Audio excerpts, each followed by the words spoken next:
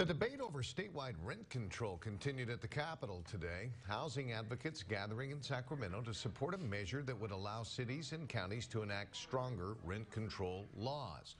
Voters will get to decide on an initiative uh, to that effect in the upcoming November election. The measure repeals the decades old Costa Hawkins Act, a law that limits cities from enforcing rent control regulations on residential properties built after 1995. Proponents of this measure say it will help tackle rental costs that are driving more people out of the state. But the initiative faces strong opposition from state landlords who say it will lead to an array of new housing challenges.